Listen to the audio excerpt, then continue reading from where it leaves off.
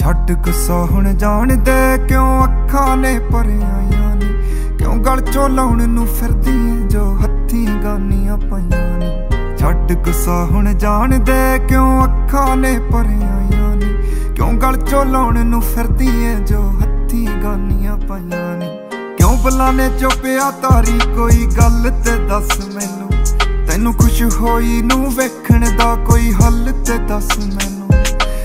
ਸਿਖਰ ਦੁਪਹਿਰ ਨੂੰ ਜਾਨ ਮੇਰੀ ਤੇ ਕਾਤੋਂ ਬਦਲੀਆਂ ਛਾਈਆਂ ਨੇ? ਕਿਉਂ ਗਲ ਤੋਂ ਲਾਉਣ ਨੂੰ ਫਿਰਦੀ ਜੋ ਹੱਥੀਂ ਗਾਨੀਆਂ ਪਾਈਆਂ ਨੇ?